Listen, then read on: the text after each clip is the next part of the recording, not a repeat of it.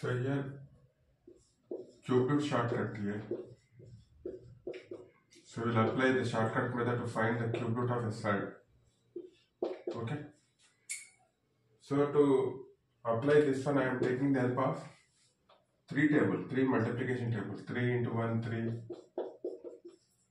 three into two, six, and so on. So I am taking the help of this three table. Okay.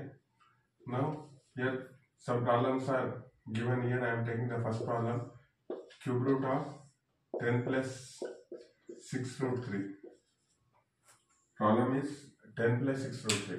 So to apply the shortcut method, first the condition is a number and a square root square root should be there. Number root. So here root is not there. So first I will convert this into root. I will write this as 10 into 1. Okay.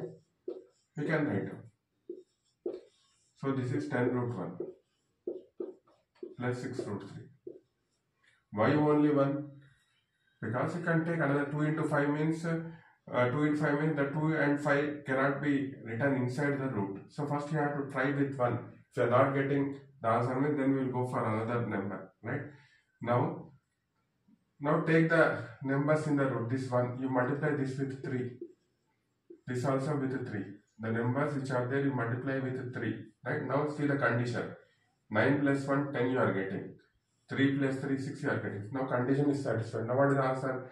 The values which are there in the root, those are the values of x and y.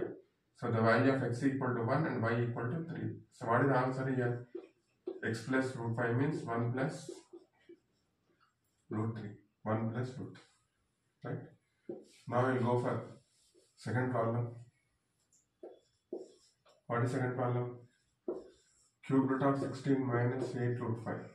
Same thing. First I will write this or take help of 1 first. Right?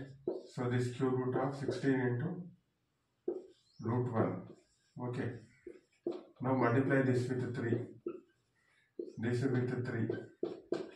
Okay. Now 15 plus 1, 16 you are getting. 3 plus 5, 8 you are getting. Now values of x and y are x equal to 1, y equal to 5. Now what is the answer for this one? x minus root 5. Minus sign is there, so write down minus. What is the value of x? 1. y is this one 5. So this is the method you can apply. Right? Now we will take third example. What is third one? Cube root of 37 plus 30 root 3. Right? Here first I will start with 1. Right? If you take with 1, this is 37 root 1 plus 30 root 3. Okay. So here when you multiply this with 3 here 1 into 3 is 3 right? This 3 into 3 is 9 9 plus 1 not satisfying. 3 plus 3 not satisfying. So you have to convert this one. How to convert here 37 you can't write down the factors. So no use of converting this one. You can convert this one. First try for this one. So this cannot be changed here so this is 2 into uh, 2 into 15 right? So take this 2 inside. So this is cube root of 37 root 1 plus 15 root 4 into 3 12 right?